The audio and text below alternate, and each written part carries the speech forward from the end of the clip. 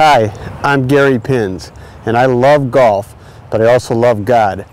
I'm the Director of Instruction at Oak Brook Golf Club outside of Chicago. I'm a former tour player, and I've won many tournaments and set a number of course and tournament records. But I want to share with you my, the greatest experience that I've ever had, and that's the experience of becoming a Christian, knowing God, and living as a Christian. And also the assurance that I have of eternal life and life in heaven when I die. This life as a Christian has given me purpose and a deeper meaning to everything that I do. Knowing God has given me strength to live life and to deal with the difficult issues that I face. And also, reading the Bible has given me practical wisdom to deal with life in a way that I never could have if I didn't read it and understand some of the things in it and begin to apply them in my life. So I want to share that experience with you, how you can become a Christian too if you're not, and encourage you to grow in your faith if you are.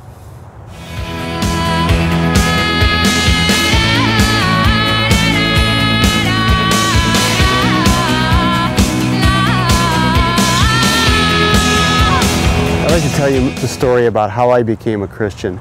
And one of the reasons why I've created Swing Masters is because someone shared their faith with me when I didn't understand it and I didn't want anything to do with it.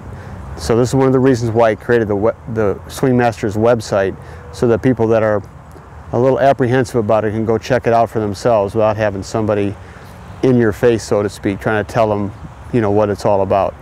So we put all the information that you need to know about becoming a Christian and the Christian life on the website so you can check that out. When I was a young man, I was a complete atheist. I had no belief in God whatsoever and I thought people that believed in God needed a crutch to live their lives. Fortunately, at that point in time, I was very successful. I was at Wake Forest University on a full scholarship and I'd won the state open in Illinois and also the state amateur championship. I was a medalist in the United States junior championship. So I was having a great degree of success and having a lot of fun with my life.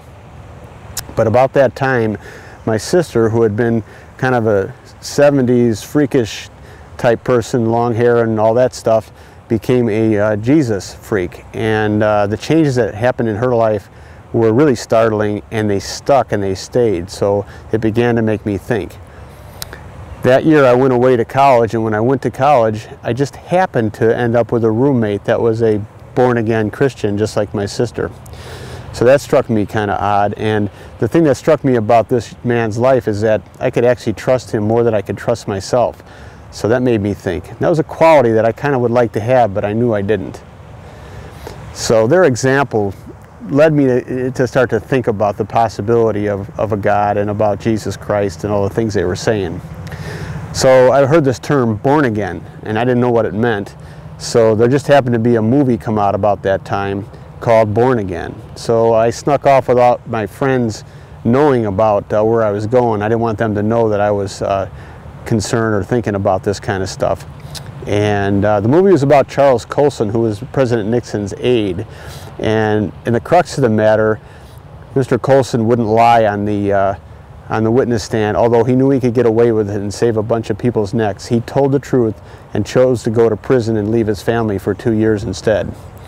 And I thought that kind of quality was something that I wanted to have in my life. So in that movie theater, I said a little prayer and said, God, if you can give me that kind of quality of life, someone that has that kind of integrity, I want that. And it was God's goodness in him that drew me to God. Um, I wasn't convicted of heaven or hell or any of those things, but mostly just the desire to have the good quality God could give in my life when I knew I didn't have them. So that led me to uh, begin to seek and read the Bible a little bit, but my life changed almost immediately then. My heart changed about the way people, not something that I did or earned, but my, the way that I thought about things began to change from that very day. And I began to seek the Bible and what I found is that God's goodness is what leads men to repentance. And repentance simply means changing your mind and changing your way. And uh, that's exactly what it did for me. And He can do that for you too if, you, if, you if it hasn't happened or if you've slipped away from God. He's always willing to bring you back and give you a new chance and a new start. So I encourage you to do that today and to, to take a look at some of the things that are on this website and uh, begin to seek for yourself. And you will find life as a Christian, the assurance of eternal life that I have, absolute assurance, not on my own good deeds, uh, because I don't always do good deeds, but on God's goodness that He saved me by dying on the cross for me. And all I did was receive that, and I'm willing to stand up for it. And He gives me the assurance in my heart, and you can have that also. So um, God bless you, and look through some of the things on this site